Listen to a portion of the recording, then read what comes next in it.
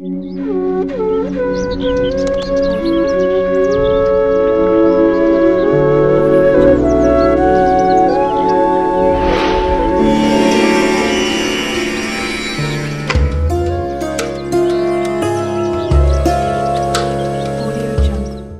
మన పెద్దవాళ్ళు ఎప్పుడూ కూడా దానాలు చేయండి దానాలు చేస్తే మంచిది అని చెప్తే వింటూ ఉంటాం. దానం చేయడం వల్ల గొప్ప పుణ్యాన్ని సొంతం చేసుకోవచ్చు. అలాగే అన్ని దానాల కంటే అన్నదానం గొప్పది అనేది కూడా తెలుసు. అన్నం కనుక దానం చేస్తే ఇంట్లో సుఖ సంతోషాలుంటాయి. అలాగే ఒకరికి మనం మేలు చేసిన వాళ్ళం అవుతాం. అయితే ఏ దానం చేసినా ఎట్టి పరిస్థితుల్లో కొన్ని మాత్రం దానం చేయకూడదు. జీవితంలో వాటిని దానం చేస్తే ఇబ్బందులు ఎదుర్కోవాలి.